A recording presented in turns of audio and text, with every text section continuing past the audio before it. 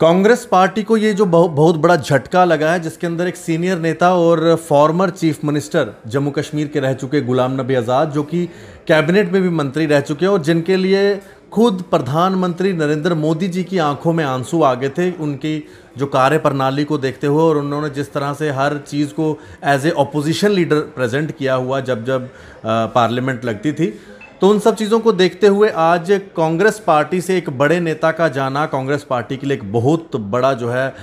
झटके के बराबर है। मेरे साथ मुनीश शर्मा जी हैं, जो कि भारतीय जनता पार्टी के सीनियर नेता है। उनका क्या कहना है इस इस बड़ी उपलब्धि के ऊपर जो ये एक बड़ी राजनीति में एक बड़ा, एक वैक्यूम सा आ जाएगा कांग्रेस पार्टी के अंदर गुलाम नबी आज़ाद साहब के जाने के बाद?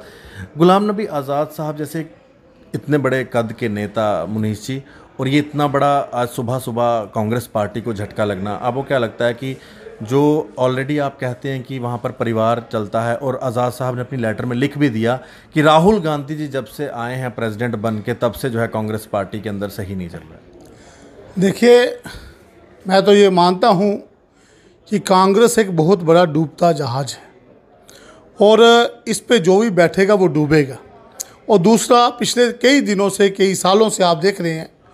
गुलाम नबी साहब जा की जिस तरह से वहाँ पे बेइज्जती हो रही थी, जिस तरह उनको इग्नोर किया जा रहा था, हर पहलू पे नज़रअंदाज किया जा रहा था। मैं ये मानता हूँ कि ये फैसला गुलाम नबी आज़ाद साहब को बहुत पहले ले लेना चाहिए चलो, हम मानते हैं देर आए, दुरुस्त आए, उन्होंने अगर फैसला देर से ही लिया, लेकिन कांग्रेस एक ऐसी, ऐसा दल है जो सिर्फ़ परिवारवाद को लेकर चलने वाला दल है, जहाँ किसी की कोई इज़्ज़त नहीं है कोई सीनियरिटी नहीं है। आप खाली गुलाम नबी आज़ाद साहब की बात ना करें। कल आनंद शर्मा ने इस्तीफ़ा दिया, कल कोई और दे रहा है, परसों कोई और दे रहा है। आप देखेंगे लगातार कांग्रेस के सीनियर लीडर्स जो हैं, जिनके बलबूते कांग्रेस चलती थी, वो कांग्रेस को छोड़ते चले जा रहे हैं। और मुझे लगता है, एक दिन ऐसा आएगा, सोनिया गांधी, राहुल गांधी और प्रियंका गांधी, सिर्फ़ ये तीन ही लोग कांग्रेस में बच जाएँगे। बाकी जिस तरह कांग्रेस सिर्फ़ परिवार को बढ़ाने के लिए लगातार कभी का सोनिया गांधी जी, कभी राहुल गांधी जी ये क्या यही एक राष्ट्रीय अध्यक्ष के काबिल लोग हैं? क्या इनकी पार्टी में कोई और लोग नहीं है? लेकिन क्योंकि अपने हाथ से सत्ता ना चली जाए, अपने हाथ से पावर ना चली जाए, सिस्टम ना चला जाए, ये उसको देखते हुए सिर्फ़ परिवारवाद को बढ़ाते हैं और इनकी गलत नीतियों के कारण आज कांग्रेस जो है, पूरे देश से कांग्रेस का सफाया हो रहा है। और आशीष जी आपने बड़ा अच्छा सवाल किया है, मैं आपको ये विश्वास से कह देता हूँ। प्रधानमंत्री जी ने जो 2014 में नारा दिया था, कांग्रेस मुक्त भारत और जम्मू कश्मीर में इसकी शुरुआत श्यामलाल शर्मा जी ने की थी। और आप देखेंगे, अभी गुलाम नबी आज़ाद जी का जाना एक बहुत बड़ा झटका और कांग्रेस ज़मीन पे आपको बिल्कुल छूने पे नज़र आएगी। और खाली जम्मू कश्मीर नहीं, पूरे देश में आने वाले 2024 से पहले पहले मैं ये विश्वास के साथ कह सकता हूँ कि हर प्रदेश में और राष्ट्रीय स्तर पर भी कांग्रेस का बहुत बुरा हाल होने वाला है, क्योंकि ये वंशवाद और परिवारवाद की जो राजनीति है, इसने देश का तो बेड़ा गर्क किया ही है, लेकिन आप देखेंगे इसका जो दंश है, वो कांग्रेस को भी लगातार दसता जा रहा है, और इतनी पुरानी पार्टी जो कभी, जिन्होंने सत्तर साल इस देश पे राज किया, आज वो सिर्फ़ अपना अस्तित्व बचाने के लिए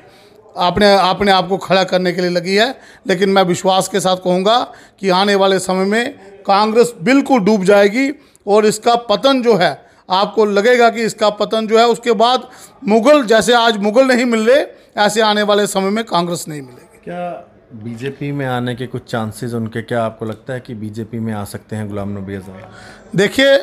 इसके बारे में आज उन्होंने रिज़ाइन किया है। इसके बारे में तो मैं नहीं कह सकता लेकिन अगर आएँ तो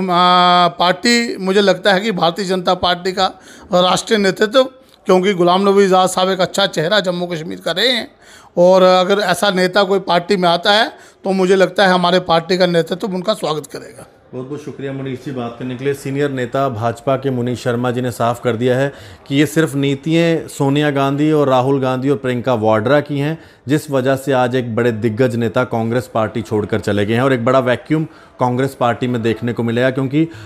गुलाम नबी आज़ाद साहब के साथ जितने भी नेता हैं, वो भी इस समय एक अहम मीटिंग कर रहे हैं और हो सकता है कि उनका रेजिग्नेशन भी जल्दी आ जाए। देखते रहें जेके मीडिया। धन्यवाद, राम राम।